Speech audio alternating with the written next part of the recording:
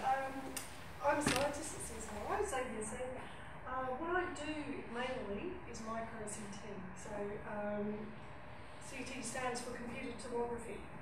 And um, I guess you've probably heard of a CAT scan, you know, you go to hospital, you get put in a big kind of washing machine thing, and it takes a 3D picture of you. And what's happening inside that big kind of donut is that there's um, uh, an X-ray source and a camera whizzing around you, taking pictures at different orientations. Now, I do the same kind of thing but on a really tiny scale. Um, in my case, I take scientific samples that are generally really small. So, uh, I just started uh, I take samples that are really small, and uh, rather than spinning the X-rays and camera around, I spin my sample around in an X-ray beam. So X-rays come from here, and I get a shadow picture sort of like this. This is an ant's head on, on my detector. And um, I'm just going to, and hopefully, you know, I, from that I'll get a 3D computer model of my object. So my 3D models are not out of my imagination, but hard-won data generally. So this is just going to quickly show you the principle behind that. So this is like a data set. This is actually a synthetic data set, but you know, it's a pretend data set. Now you'll see that the contrast has been inverted. Uh, that's just something we have to do so the mathematics works out. But we're taking a bunch of images as it rotates. And if you take one line of this uh, image, one layer like that, um, as it rotates and you take that layer and write that line for each angular position, you get a, a, a kind of weird image like this called a sinogram. And from that, you can actually reconstruct what's in that slice, that cross-section of your sample. And if you do that for all of them, you get a whole 3D thing, hmm. a whole 3D model. So I've got a little movie here that kind of illustrates that happening. So this is like one layer of the object, and this is the corresponding row of pixels on the CCD. And uh, the object is rotating around, I know we've sketched it like the CCD is rotating around, but I rotate my object. And it's building up a sinogram corresponding to the information in that layer. Then taking that sinogram, you can project it into a kind of plane. So that's one layer. And the next layer goes in at a different angle corresponding to the angle it was acquired at. And mathematically it works out with a few extra twists and which I won't go into, it builds up the cross section. And with a whole bunch of those, you've got your 3D model of your sample. Now, this is what the cross section looks like. And this is a mastectomy sample. And that's, like, I'm a physicist, I don't do gruesome, but that, that's something we did a few weeks ago. It's the most gruesome thing I've ever had to deal with. Some poor lady had that removed from her hours before we scanned it, and we did this at the synchrotron. We're trying to develop improved mammography methods. But the cross section that you get is a density map really of the object. And this dense bit in the middle is the tumour. But I have to choose how to represent that in three dimensions. So here was one crack I had at it. Um, and I've done a volume rendering uh, with one set of uh, colour mapping to the pixel grey levels, where, which show the tumour, you know, looking kind of orange and red and amber in the middle and I've used another sort of set of um, colour map to do the low density stuff. But in this one, I'd also used uh, what's called an ISO surface to represent the surface between empty space and the actual object, so that includes the bubbles. But actually, I thought that was kind of distracting for showing the story. So we ended up removing that. So this is just a sort of example of the rendering showing the tumour, that sort of angry red mess inside the breast tissue. Yeah, and it seems to have these like evil twinkles going around it. So I'll just quickly go through a few applications that we've done at synchrotron. So most, uh, some of the imaging I used to do was done in the lab. So we had a lab X-ray source. It's almost a point source, five microns or so, or even smaller for a special one I use. Um, but the, ex the uh, synchrotron is, it, it's hard, it's got a particle accelerator and it fires off beams of X-rays at a tangent. The particle accelerator is in a circle that uh, has a storage room. Electrons go around at the speed of light, and they spit off X-rays at a tangent, and these are collected in beam lines that come off that tangent to the ring. And it's out, out uh, right near Monash Uni, and right next door to my building, so that's very convenient. So, yeah, they built it just, just for me. Um, actually, I go there a lot. I've just come back from three days of, you know, 20, you do 24 hour experiments, it's a bit wearing. So this was visualizing coke, and this is cross sections of seven coke samples, and, and this is just like how it comes out from the mathematical reconstruction. It's got grey levels and stuff like that. And my colleague wants us to render it for him. So we do these rendered views. And a difficulty we have is that rendering kind of some you, you have to choose what features you're going to highlight because this isn't just like you're trying to make a pretty picture, you're actually trying to convey something scientifically. So some of these samples have very variable density in them, and a grayscale render shows that up quite well. But it doesn't, the, gray, the problem with the grayscale render is it doesn't really show the holes.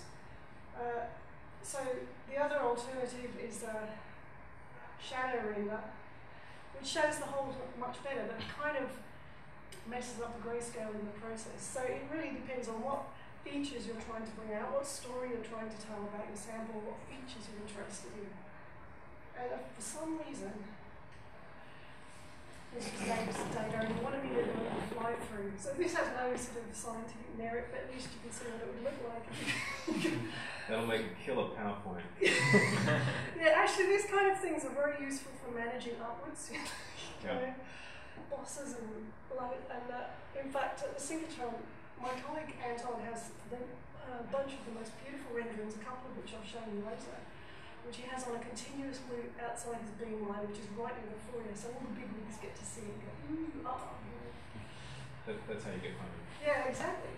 So um, we can actually do more meaningful things. Here I've used a, a difference image to show changes. So this is like the, uh, we'd actually crushed these coke samples and we're looking at, at, at what happened to them when we did so. So if you can see when I go backwards and forwards, you'll see some bits break off and move around inside. Uh, so that's before and that's after. But by combining uh, a difference image, so uh, this was done in a package called Viso, it's got some cool little tools, we're able to align in three dimensions our two data sets, the before and after. Most of the samples are still the same. But by taking a difference, subtracting one from the other, we get like positives where something ended up where it wasn't before, and negatives where something's gone missing. And so the blue is where things have gone missing. You can see this item lump here broke off and ended up sitting there. So we used that to show how it's changed. So another thing I did was extrudate. So if you ever had Cheezels, there's like people in food science over in Werribee trying to make better Cheezels. I'm not kidding you. it's good you said tax money. well, um, actually, what they're trying to do is, I mean, there are lots of kind of puffed things like cereals and snacks that, that are made in more or less the same way. They're made out of big extruder. Um, they want to like, actually make them a bit healthier and put fibre in them, but still have them be lovely and crunchy and delicious. So uh, they asked me to scan some of these for them. So on the right is some examples, uh, on the left is some examples, on the right are some two of the cross sections. So this is uh, a rendering of the low fibre one, and in fact, weirdly, the low fibre one has thicker walls, which probably means it would be a bit kind of break your teeth on it and not quite as nice. Whereas the, get it to come, the high fibre one is probably more puffier and lighter and probably better, better for you and better to, better to read. So this is uh, this was done in Drishti, which is freeware, which is quite nice. And actually, from an art point of view, I prefer Drishti.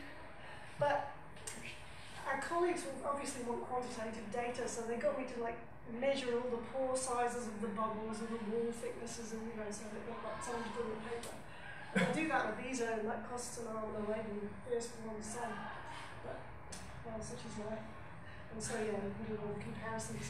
So actually what I'm visualizing here is segmented data, where I've gone through and analysed it, identified all the pores, separated ones that are a bit joined together, and then they're all labelled separately and we can measure their volumes and surface areas and anything we want. Okay, all right. Um, I'm going backwards. Okay, quick change. Um, this bit's about exon, xenon, exon, xenon imaging in, in rocks porosity. Now, xenon's a really heavy gas. Uh, you know, if you breathe in helium, you can speak in a high, squeaky voice, and if you breathe in xenon, you can talk in a deep voice. I've never done that because it's so expensive, but I'm so costly, you know?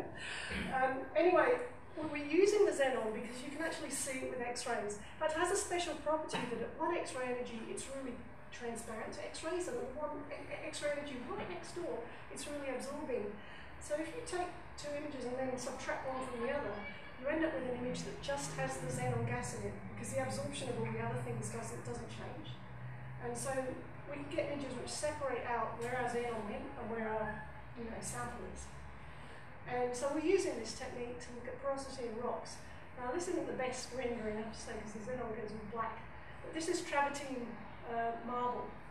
And uh, we put xenon into it to see where the pores are. For some reason it goes dark, but the xenon's in red.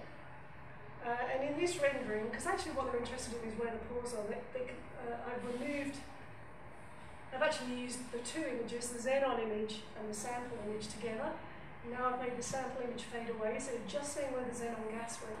So this shows us the pore structure, and that's actually what they're interested in. So it's easier to see if you kind of invert the sense of that. But in that particular sample, you probably see quite a lot of the pores just from a, an image because they're big enough to resolve. However, in coal, that's not the case. Coal, um, this is a cross-section to a coal sample. And this is the sample image, and on the right is the xenon gas, where the xenon gas went. And it diffuses into holes far too tiny to see, but we can see that they're there because of the uh, xenon. In fact, this is what I was doing three days ago. And what we actually do with the rendering of the xenon on its own, we can see how the stuff diffuses into the coal over time. So that's actually over three days. And then at the end, I turn on the CO2 tap and it flushes the xenon out. So the reason people are interested in that is because they want to do things like carbon sequestration or using CO2 to push out methane and, and other things like that. So we actually need to know how gases flow in coal. Right. This is a bit faster time series. Oh, oh this was the, like the most hard work experiment. Um, this is uh, baking bread at the synchrotron. So we made this. With X-rays. Yeah, well, we actually did wonder, like, if, if putting the beam on it, because it's quite powerful, was going to cook the bread, you know, when we didn't want it to cook. But no, it was it was well behaved. So this is our little furnace here. It's like this sketch shows that the rotation axis, because we need to spin our sample, kind of sticks up through a hole in the bottom. Um, we've got these little mini bread samples, and my friends from the food science area have this tiny little kneader that kneaded little perfect little samples of dough that we made for these mini loaves. And we were scanning every five minutes. The scans only took 20 seconds because we're at the synchrotron, so that we can follow the development of the 3D structure in time. And in fact, you know, I could have scanned every minute or every 30 seconds. The limit was in fact how much data the massive computer could handle. And in fact, I checked it three days ago with my coal experiments. So data handling is becoming a bit of an issue experiment. So uh, I, I, did 15 terabytes in three days for the whole experiments. This was three terabytes and then complaining. So, so yeah, because we did 16 samples. Um, so this is what the, the 3D rendering of the time series, or one sample. So I haven't tried to do any kind of clever merging for this, I've just shown it as is. So we're seeing in 3D, and in fact, one thing we noticed from this is, is that the rising and baking it does quite a dynamic process, and a part expands, then air escapes and it sags, and another part expands, it's sort of fighting with itself, and then at the end it hardens as it's baking sets into shape. Now, this is a different kind of project. Uh, entomology, they had a, a, visiting artist, an artist in residence, and uh, and so she did this um, Stellarscope project, and the idea was to uh, do a centenary. It was it was to celebrate the centenary of Canada, of Canberra. But um, what it was touching on in this case was a sort of centenary or whatever of wheat science, you know, agricultural science. And that involved both entomology, who study the insects that eat wheat and get in the way of the crop, and also the plant, plant industry. And they're all based up at Black Mountain in Canberra. And so, in the exhibition space that they've got there, they were setting up this exhibition, and they wanted um, Eleanor Gates-Stuart, who did it, was looking for um, scientific imagery that would help her build the artworks for the exhibition. So she and I got in touch and she wanted me to do some 3D scans of some things that she could incorporate into her artworks.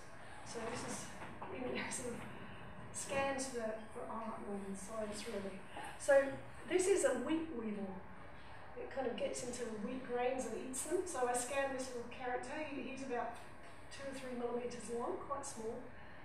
I love its nose. And uh, on the on the right here is, is some ears of wheat. Uh, so obviously here I, I rendered it. So I supplied them to her as movies, as 3D data sets, as surfaces.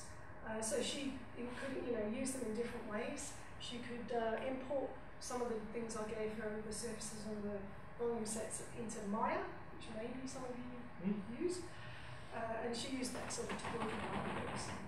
So um, these are, so you can see that those things appear and some of these are some of the 2D imagery that was used to promote the exhibition. So you can see the weevil and, and the wheat appearing in, in various places and guises. And, and these are some of her, so one, one thing that she did that was quite cool was she had these domes and she had images and movies projected onto the domes, but they were also designed to be interactive. So when someone, there was a sensor up above, and when someone put uh, their hand over the dome, it was as if the sensor cast a shadow, and it, underneath where the shadow shadow would be, uh, a different image would appear. So you can sort of see that there's a different picture under the hand shape. The, so it's quite cool. Unfortunately, I never actually got to see it myself because I couldn't go up for the opening. Um, it went down very well. Another cool thing they did was she got the bugs, and in fact several insects, you can see one in the background there as well, printed in 3D in titanium. So just for your amusement, I actually got a 3D print. This isn't of a bug, sadly, but it's um, an enlarged uh, 3D print of a wood sample. So I think we were looking at earlier, it's about half a millimetre across. So I'll pass, pass this around and have a look. So that's another way of sort of visualising things. In fact, in the ESRF, they're, they're scanning insects in amber that are millions of years old. And they do they get good enough scans that they can do taxonomy and identify the insect and know what family it comes from. But they can't lodge the lump of amber as a specimen, so they actually make a 3D print of the um, scan that they've done, all, all enlarged, and they lodge that as the type specimen for the uh, creature. So This is only half a centimeter of wood. half a millimetre. It's half a millimeter of wood. Yeah, so those are individual wood cells you can see in the top, and they're like 20 to 30 microns across for the bigger ones. So there's vertical cells, and then there's these horizontal ones called rays that go through it a few, in little bunches. So that's a piece of pine called loblolly pine, and in fact, um, I'm going to show a little show reel in a minute while we do the Q&A, and that will be one of the, the, a very simple rendering of that will come up, so you'll see where it came from. Uh, I actually got a guy who does wood science, teaches wood science, had seen the scan in a paper and asked if he could 3D print it because he wanted to use it to teach his students. So anyway, I'll, before I go into the show reel, I just mentioned, so primarily I'm using two pieces of software. Viso costs an arm and a leg, but also does lots of sort of technical analysis and stuff. Um, Drishti on the right is free. It's made by Ajay Limaye of ANU, um, and you can just download it off Google Code. Um, actually, from an art point of view, I think it, it does a better job. So this is a bryozoan. It's about a millimetre across. It's like a, the fossil limestone shell of some long dead organism. Um, but a nice thing you can do in Drishti, I've rendered it kind of slightly translucent, and you can put internal lights. So I've put kind of Christmas lights inside that one.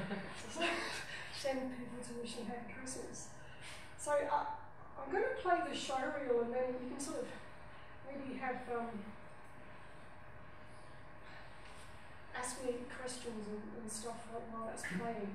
And I'll just add that the showreel comes, uh, quite a few of the things on the showreel are from Anton Maksimenko at Synchrotron, because he, he obviously has far more time to play around with Drishti than I do in his life, because he's done some awesome animations.